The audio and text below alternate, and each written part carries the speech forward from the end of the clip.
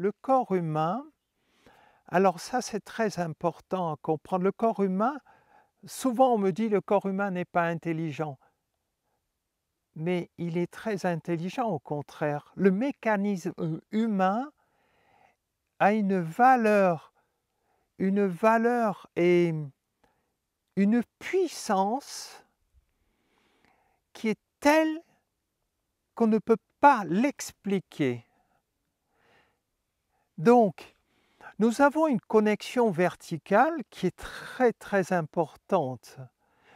Nous partons du végétal à l'animal pour devenir cet être humain.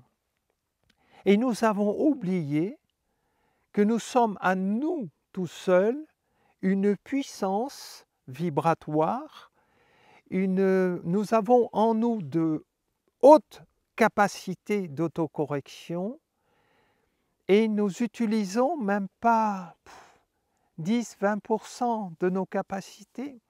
Donc si on doit parler des virus, je vous ai exprimé le terrain délétère, c'est-à-dire l'histoire de famille qui crée nos faiblesses énergétiques, nos empreintes énergétiques, sans parler des empreintes génétiques qui sont dormantes et qui n'attendent que d'être révélées. D'accord? Donc un virus qui se balade sur une personne qui a une hygiène de vie qui n'est pas correcte par son comportement, ses excès, son manque de repos, son manque alimentaire et sa violence existentielle, bien entendu, ouvre la porte plus facilement à ce type d'agression telles que les virus, les bactéries. D'accord? Donc, nous nous rendons compte que ce virus qui existe aujourd'hui, que l'on va appeler euh, le Covid, ou là, je ne sais pas comment on le dit, en fait, ce n'est même pas mon problème, qui fait peur à tout le monde, et là, on est tous prisonniers, comme si on allait recevoir une bombe, atomique sur notre tronche, en fait. C'est terrible, comme ça paralyse le monde et ça handicape la vie. Mais les virus ont toujours existé. Ils mutent chaque année, ils mutent à chaque seconde. On est rempli de virus, de bactéries et de, de parasites. Néanmoins, on a toujours su se défendre. D'accord? Pourquoi aujourd'hui on ne se défendrait pas? Donc, bien entendu, on va suivre les règles qui sont données par nos scientifiques, qui, quelque part, pour certains, ne savent pas comment euh, euh, éradiquer ce virus. Mais il faut savoir une chose, c'est que le corps, lui, le sait. Mais nous n'avons jamais posé la question à notre corps, que devons-nous faire? Lui le sait, mais on est tellement loin de nous qu'on va être toujours à l'extérieur pour écouter ce qui se passe, et c'est terriblement anxiogène. On a des peurs, et la peur, qu'est-ce qu'elle crée? Elle crée en nous euh, une forme de tension du corps de fermeture énergétique, de blocage énergétique. Il ne respire plus, l'oxygène ne circule plus correctement, la digestion ne se fait plus correctement, l'estomac, n'en parlons pas.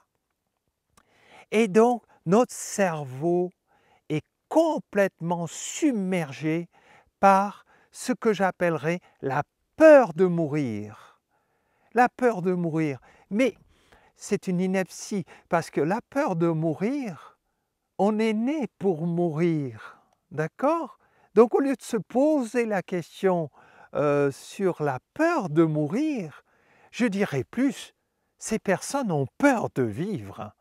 Vous voyez, il y a, quand même... Euh, euh, c'est trop bizarre. On nous a éloignés de la vie, du moins on s'est éloigné de la vie, D'accord? Donc il est à chacun de reprendre la responsabilité de sa vie, de se reposer les bonnes questions. Bien entendu, il y a des règles de civisme, de, vie en société, pourquoi pas, on va les respecter, ou pas, pour certains. Mais ce qui est important surtout, c'est respectons-nous. Qui sommes-nous?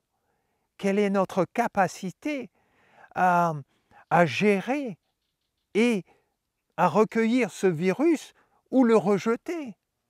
D'accord? Mais le sujet n'est même pas là. Le sujet est surtout, avons-nous envie de vivre?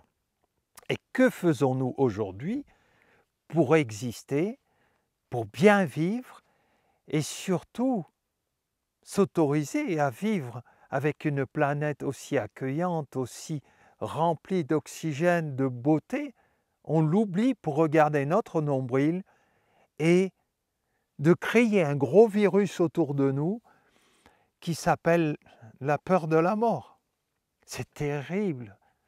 C'est d'une limitation terrible. Il est temps de réagir. Nous sommes nés pour mourir, donc, et les gars, détendez-vous. Commencez à exister et à hum, reconnaître la vie avec un peu plus de gratitude plutôt que cet égoïsme moi, moi, moi. OK? Voilà, c'était un peu pour vous embêter.